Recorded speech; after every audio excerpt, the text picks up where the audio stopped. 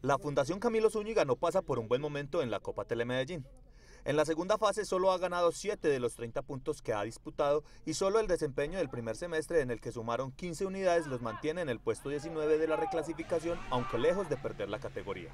El objetivo ahora se centra en madurar al equipo para el año entrante.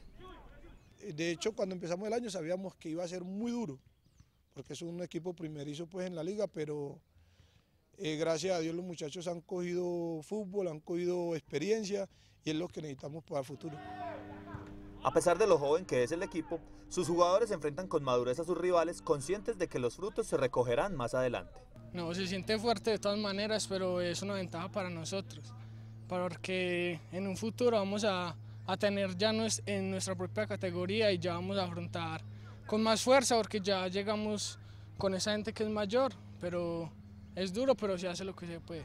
Sin esperanzas de clasificar a las finales, el equipo del barrio Castilla del noroccidente de la ciudad buscará ponerle las cosas difíciles a Confenalco y sumar experiencia para ser protagonista el próximo año.